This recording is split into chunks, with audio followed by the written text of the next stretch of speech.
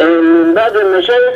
أن الشيطان يأتي آه، عند الاحتجار